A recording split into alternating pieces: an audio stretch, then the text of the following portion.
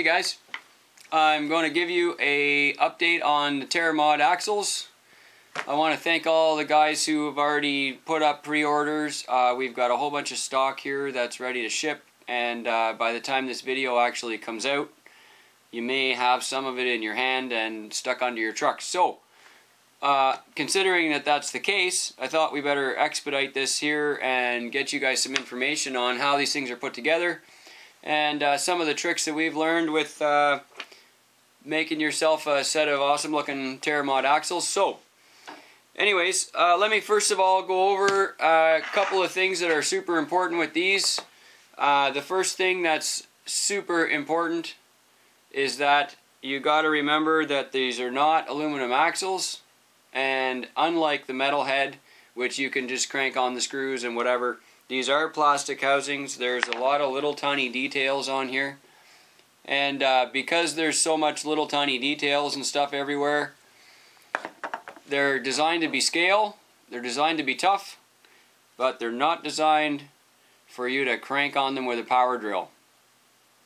Remember that. You will tear out the threads, okay? Now,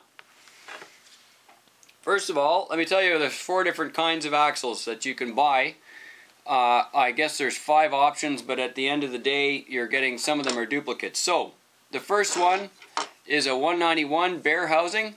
That's this one. Okay? This is a front housing. It's called 191 because by the time you actually add the C-hub on it and the knuckle, see there's spline there. By the time you actually add your C-hub on there, and your steering knuckle, the actual distance between this pin, the hex pin right there, and the one on the other side, that distance is 191 millimeters from pin to pin. Okay? Like this. From this pin over here to this pin over here is 191 if you order an option number one or we'll actually build the whole thing for you option number two it's exactly the same housing. You get an aluminum C-hub, you get an aluminum knuckle, and you get a CVD drive line, and you get a, a 1338 factory axial ring gear in there, and a last locker from GCM. We will build it for you if you choose option number two or option number four. Okay? So, number one is a 191, pin to pin. Uh, number two is this housing. I mean, number three, sorry. Number three is this housing. This is exactly the same housing, except that, as you can see, we've got the C-hub already part of the drive axle. And because the C-hub is already on the drive axle, this is actually a 183 SCX width axle. So, we've got this distance here all shortened up because we don't have to have an extra bolt there and a bunch of splines and a bunch of material and a bunch of this and a bunch of that. So at the end of the day, if you want a nice narrow offset pig axle that'll fit under an SCX 10 body the same width, then you need a 183 which is option number 3. We will also build it for you complete and that's number 4 and uh, I'm in the middle of this one so this will just give you a preview of what's in there. There's an axial ring gear and pinion there. Uh, all new bearings new axial ring and pinion new GCM locker. There's some brand new CVD joints in there aluminum knuckle and uh, this side here is just about to go on. You can also see that we've already when you get these in the package there's already hardware in all the screw holes okay we actually tap all the holes on the housing. Now, I know they're nylon. You can just probably, you know, ram your screw in. I don't know. You probably can. But we actually hand tap every one of these threads so that your screw goes right in nice and easy. And, uh, of course, that brings us to the last unit, which is number 5. This is a rear housing. So 183, stock width of an SCX 10. These are totally empty. So when you get this, you will have to put in your own ring and pinion. You'll have to put in your own locker. You can put in your own center shafts. And if you have an SCX-10 plastic housing, you can take all your stuff out put it in there. That's it. It all fits in, no problem. Now, because we tap the screws in all of these, the screws will literally go in by hand. They don't need any kind of wrench. You can put a wrench on them to help you out because they're small screws. But when you go to assemble these guys, you have one favorite friend that will help you assemble these for life. This is it. Shoe Goo. Okay? Shoe Goo is the ultimate friend for building a Terramod axle, and I'll tell you why. You cannot Loctite onto a nylon axle. It will not hold your threads. Because you can't Loctite on it, you can't you don't want a CA on it because if you put CA on it or Zap or Crazy Glue or whatever to try to keep the threads on, then uh, you're going to have another issue, which is when you start to do rebuilds or take your links off or whatever, then you're going to start to wear out the threads that are in there because the CA will harden the nylon. Okay? Don't use it. Don't use Loctite. Don't use CA. Use Goo. Now, if you're already buying these, you're probably already a custom truck builder and you probably already go through three or four of these tubes a year, so I don't need to explain to you what Shoe Goo is. The stuff is fantastic. It's totally plastic safe. And the best part is, all you got to do is get a little tiny bit of Shoe Goo. I'm just about to assemble this knuckle here, so I might as well do this.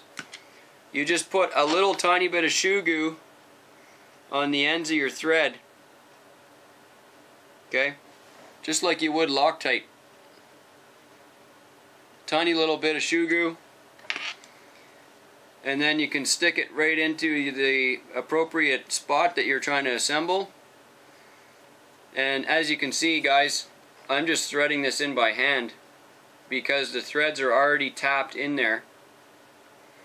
And then when you get to the bottom, you can put your wrench on it Make sure that when you're doing these on the front that you don't actually get the CVD hit with the screw. Okay? Depending on the knuckle that you're using, you could actually screw this in too far and actually rub the screw right onto the CVD, CVD and seize the CVD joint. So, the screw head is not all the way down. It's about half of a thumbnail thickness worth off of the brass collar do I care? No, I don't care at all. And after the shoe goo dries, which is going to be in 15 seconds, then this is this screw will not fall out. Okay? You do not have to crank on these things. The same one with the links. When you go to put your panhard up top and all the other links, the screws are actually already in the housing when you buy them. So you can just simply pull it out. Okay? Put a little shoe goo on the end of the thread, just the very end of the thread where it actually goes into the threads there. Put your link in there, screw it in, and just barely make contact, just barely. You do not have to crank it tight. Okay? Just barely make contact. Let the shoe goo set up in the hole so that it'll lock your screw in there. And this will never come out. Like there's no need for you to be cranking on the threads on any of these screws, okay? Same with the covers.